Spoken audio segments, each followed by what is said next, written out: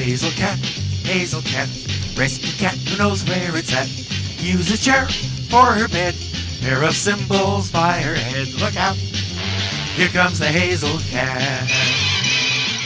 We begin at a local museum. Thousands of years before the dawn of civilization, evil magicians fought for supremacy, and Kotep was the most aggressive. Kotex?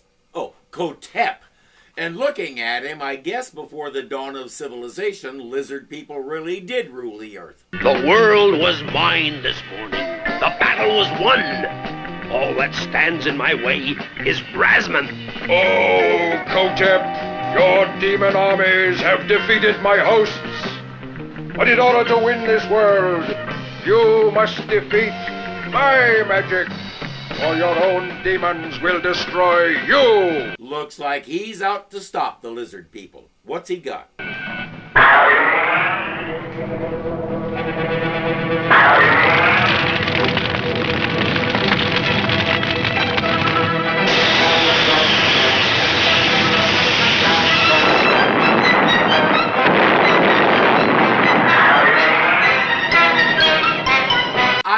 They both say my magic and then they summon random critters to do the dirty work for them. Lizard Boy loses and gets turned into a statue. Said statue is now in a storage room at the museum. Legend has it that Kotep was destroyed by the demons who served him. But the gods, in punishment for the sins of black magic, chained his spirit into eternal bondage to his mummy and would not permit his spirit to enter the afterworld. And legend says a magical formula was buried with him. A formula that can raise his ghost from the abyss of time. And has someone found this document with his mummy or is it just a legend? He may be just a little too into this lecture. A secret by which a magician of today could invoke the powers of Kotep and employ them today. Gosh, how terrible! Uh, that's all for today, class. Don't forget to hand your term papers in Monday morning. He won't be grading them, though. The university admins don't like him carrying on like that and scaring his students. Now, if he's teaching Egyptian archaeology, he kind of has to talk about this stuff, but that's not their problem. I say it's not nonsense, Dean Wilkins. I have deciphered the inscriptions. I am ready to try an experiment that will go down in history. Think of it! To summon the spirit of a great sorcerer from the past into the world of today. What a triumph for science! Which branch of science? I'm not familiar with one called sorcererology. How is working a magic incantation a triumph for science? But now he has another reason to do it revenge. Hi, Susan. How's about a beach date this Saturday? Oh, hi, Peter. Gee, I'm going to be busy all weekend with a paper on archaeology. Archaeology? That dull stuff? The beach is a lot more fun than reading about all those ancient mummies and pyramids. I know, but I gotta. Sorry. Bye. Wow. I wonder why Susan is always busy when I ask her for a date. He'll catch up with her later when she's having coffee with one of the local jocks. Last season, Peter had a pretty good thing going with Betty Brandt. Who knows what happened to that? But this season, he's always going after the shallow chicks like this one. It's obvious why, but most of them don't respond well to a card carrying nerd coming up to them and going, "Da party. Free at last, after 6,000 years. The curse has ended. Who summons my spirit from the depths of time? Not Purdy. He looks like a spoiled egg with ears. I command your help in overthrowing my enemies. Fool! What care I for such as you? Begone, groveling dog! The professor didn't read the scroll close enough because he assumed there was something in it about controlling this guy. Guess what? There wasn't. Before my destruction, I was gathering magical powers for the conquest of the world! I shall yet build an everlasting empire of black magic. But reward me. Here is your reward. Kaya Sankota Ya Shambadur.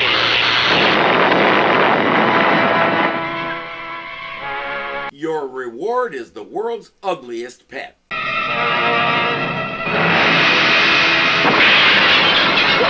What was that noise? Sounded like something breaking. Oh, look! Just like the statue. It's. Can it be? The Scarlet Sorcerer. But he's come to life. Get them! They've hurt the professor! A couple of basic sweater jocks are gonna handle this thing. Uh huh, sure. Peter knows what he has to do. Peter, you're running away. Just going to get help, Susan. Let go. Peter, you, you coward!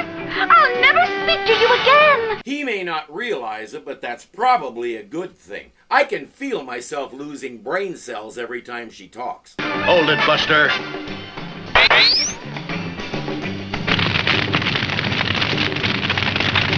What? A man in strange garments? With the powers of a spider being? Right, buddy. I don't know who you are, but here I come. Look out for fists. If Bob couldn't stop him with that standing lamp, I don't know what Peter thinks this is going to do. His monster melts the webbing instantly, and now it's his turn. You puny fool. Mere dodging will not suffice to evade the clutches of my demon slave. I want this guy around to do that to me the next time my drone lands on the roof. Wow. This guy in red is a bag full of tricks, all right. Webb, do your stuff.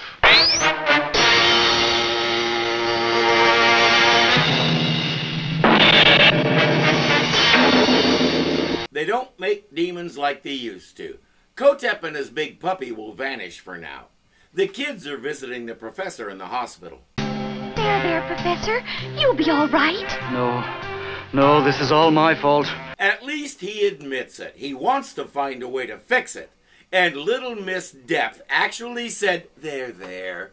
But she did it wrong. She's supposed to pat him on the head while she says it to reinforce the meaninglessness. And what of Kotep, the Scarlet Sorcerer? What has the mightiest magician of all time accomplished since he vanished from the museum? The scarlet clad villain has withdrawn into the half world of magic, here in a fantastic castle of shimmering crystal. After Spider Man defeated Kotep and the castle was abandoned, some guy in California gathered up the pieces and used them to build a big glass church. Kotep summons a bunch more frogs with ears like himself, but they won't serve him until he beats Spider Man and proves he's all powerful. Wow, look at that. It's a giant spider web.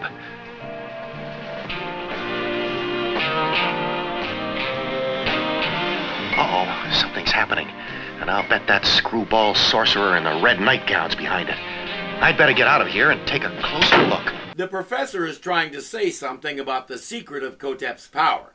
Unfortunately, Susan was the only one who heard him, and since his statement involved multiple two syllable words, she was unable to pronounce it when she tried to tell Spider Man. Spider-Man! The professor says to grab Kotep's scepter. He's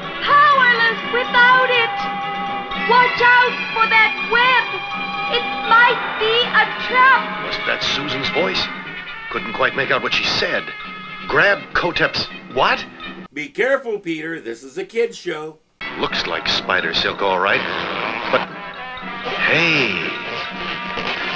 I guess this must be the first time in history a spider ever got caught in a spider web. Now what? I'm falling. I have no idea what's going on. When we come back from commercial, he's on the ground near Kotep's castle and the giant web is gone.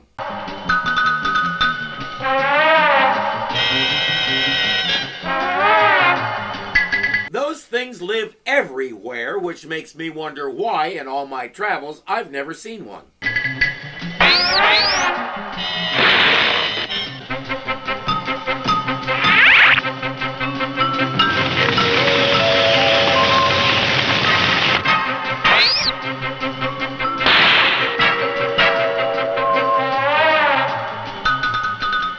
What a way to travel. Once around the park, James, then home for tea. He'll ride it all the way to Kotep's castle. The dragon decided this was a great idea and started his own Uber type business. Kotep never forgave him. Welcome to my humble abode. Why, it's the Spider Boy himself. Humpty Dumpty's mutant cousin does know how to make an entrance. I see my little web attracted your attention. I thought it would. Okay, fella, you want to play? Here come a couple of fists. I have learned how to duplicate the power of your webs, you see. Or rather, my little friends have. Peter needs to try and get a date with Formicida from Wonder Woman. She could make a formula that lets him control the spiders. Now you are fully in my power, foolish mortal.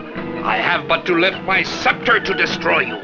Scepter. That's the word Susan yelled at me from the street. The secret of his power lies in his scepter. Zowie. No! Stop him! Who's he talking to? Those demons he summoned aren't about to step in. They're waiting for their two legged Easter egg to prove he's worth their time and effort. He's not doing a very good job. You fool! All my power lay in that magic rod! It's nice of you to tell him that so he knows what to do next. Remind me which of you is supposed to be the great genius?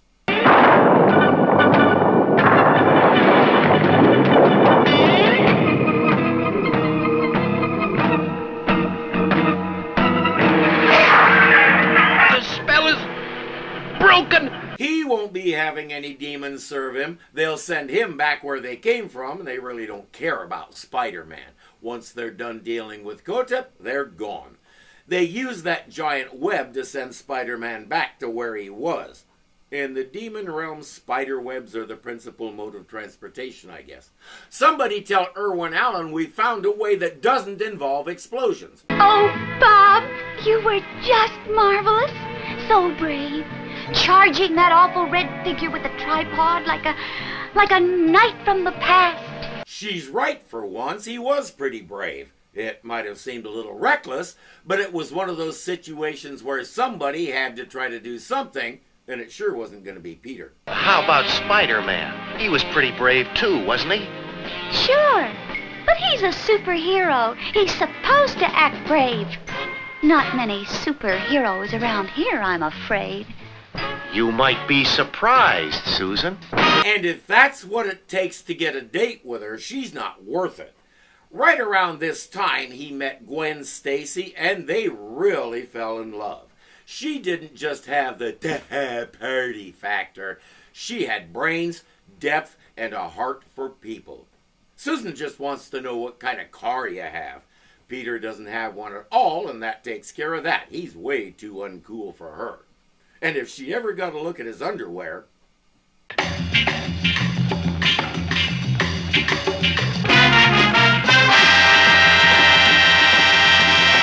lets him control the spy. Ag! we found a better way that doesn't. We found it not better. We found it. We use that. God bless America. He's too un. He's too un. He's too uncool for her.